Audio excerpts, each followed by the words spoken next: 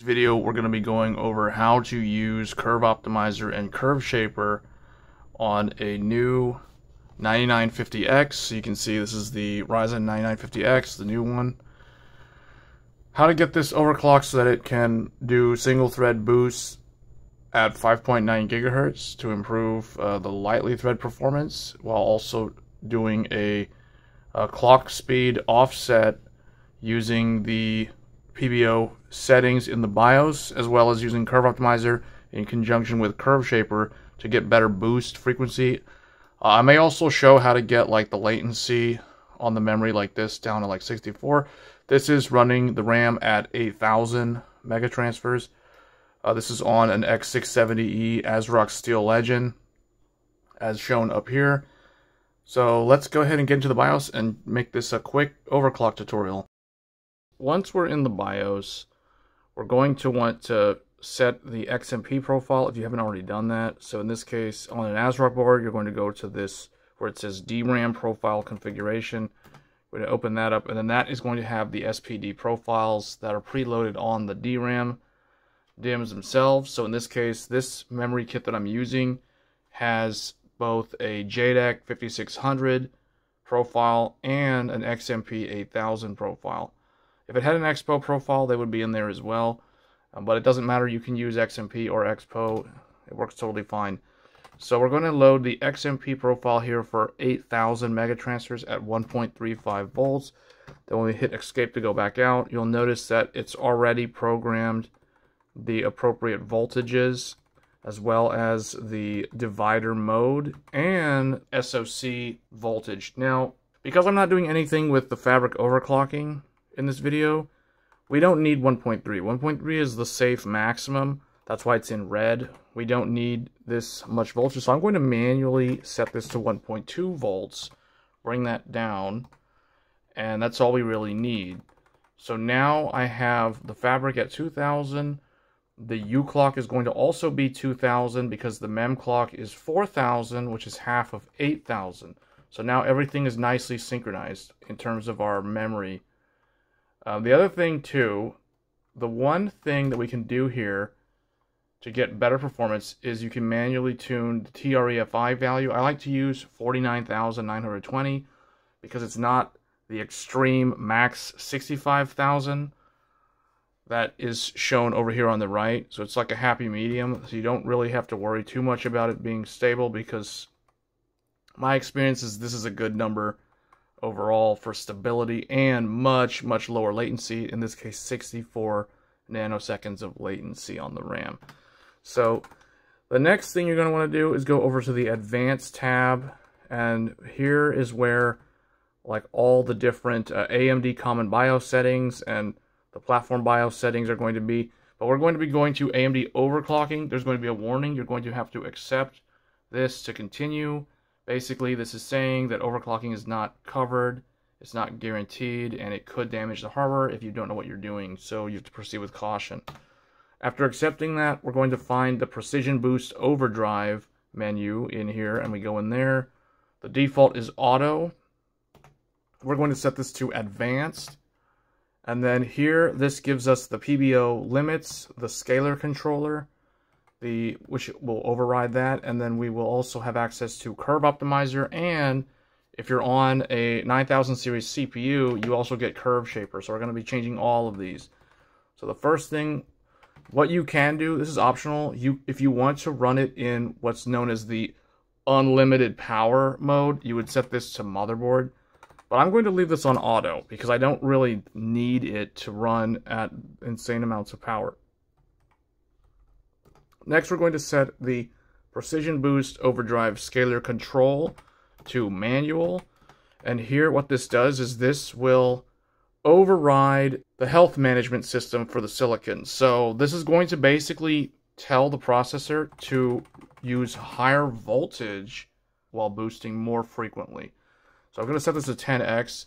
You can choose whichever one you feel comfortable doing. Now we want to set the CPU boost clock override. We're going to set this to enable positive.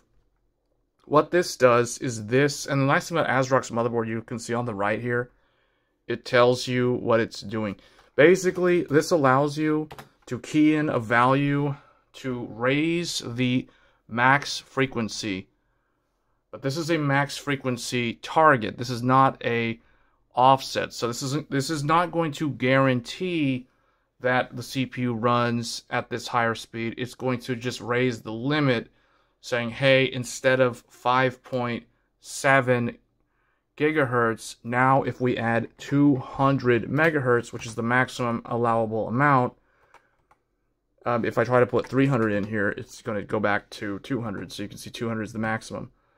So this will allow it to raise from 5.7 to 5.9. And this is the secret setting which will allow it, with the more aggressive voltage, it will allow it to run at a higher frequency. Now, the problem with doing higher voltage more aggressively is that's going to raise the temperatures, especially if you raise the PBO limit using motherboard settings.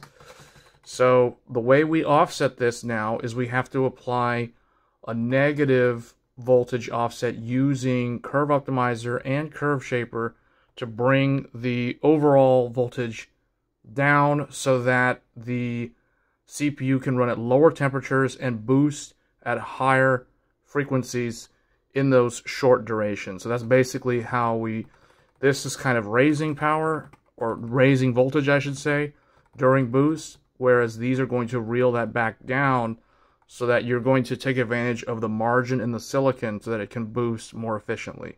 So first we're going to go into Curve Optimizer. Most people are probably already familiar with Curve Optimizer.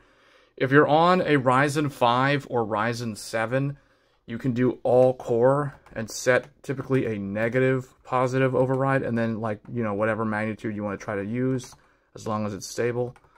But if we're on a dual CCD, so in this case I'm on a 9950X, this would be the same if you're on a 9900X. You can do per core or you can do per CCD. So if you're on a dual CCD chip, you can go with a per CCD which can be useful. So what I've done here is I've put a negative offset. So if you do positive, this is going to raise the voltage, which means it will probably not be able to boost as high because it will heat up faster. So you typically don't use positive unless you're doing like extreme overclocking using LN2 or phase change. So I'm going to do negative 15 on the better performing CCD. So in general, CCD 0 has the voltage frequency curve that can go to 5.7 by default. So this is the one that we're going to try to get to 5.9 gigahertz.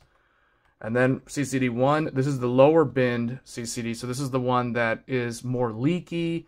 It may not be able to hit the higher speeds. So this one tops out around 5.5 to 5.6 gigahertz. But with the 200 megahertz offset from PBO, this will be able to do up to 5.6, 5.7 more frequently. So this one I'm going to do negative 10. That one I'm going to do negative 15 because this is my better binned CCD. So we're going to apply a higher negative offset. Now with Curve Shaper, if you guys watched my previous video, I went in depth on how Curve Shaper works. Basically, what we're going to do is we're going to tune the medium frequency the high frequency and possibly the max frequency, although I don't know how much of an effect this one has compared to leaving it on auto. But medium frequency, this is going to be the all load, the full load uh, frequency. So this is basically 4.5 to 5 gigahertz. This is going to be your Cinebench R23 runs. So, or, or video rendering, or any, anything that heats up the CPU and uses all the cores and all the threads. So this one we're going to go enable at the high temperature, which would be around like 80 degrees Celsius. That's the magnitude point. And we're going to set it to negative, and I'm going to go put a 5 in here. You can do a max of 30. I think if you try to do like 40, it'll say invalid input right there, and it puts it back to 30.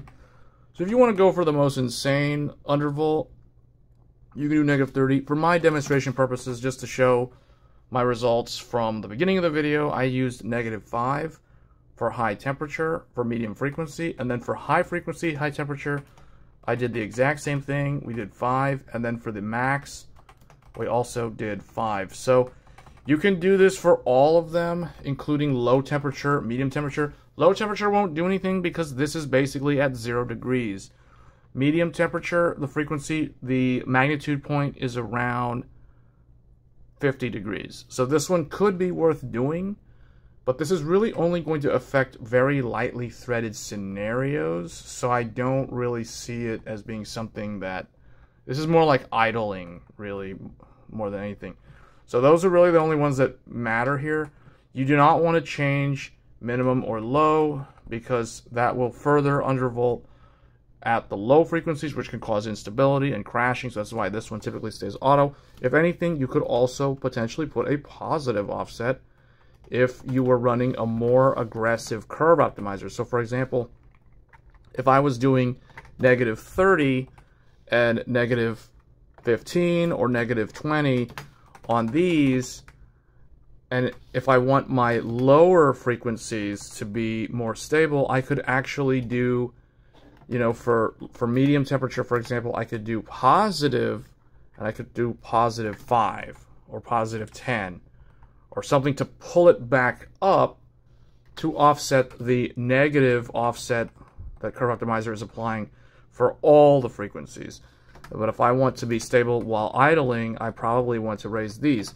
That's the reason why with Curve Shaper, what I recommend you do with Curve Optimizer is use a lower negative offset rather than a super high negative offset, and then further shape the curve, uh, so to speak, using either higher or lower negative offsets for your medium, high, and maximum frequencies. These are the settings that I used to get to 5.9 gigahertz. I will note that this is on an air cooler. I'm using a Deepcool AK620 and so far it has been fully stable. So the results from the live streams that I've done recently, those multi-hour live streams were using this like this CPU as configured here. So I hope you guys found this video useful. If you have any questions or comments, leave a comment below and I'll try to get back to you. And I'll see you guys in the next video. Thanks.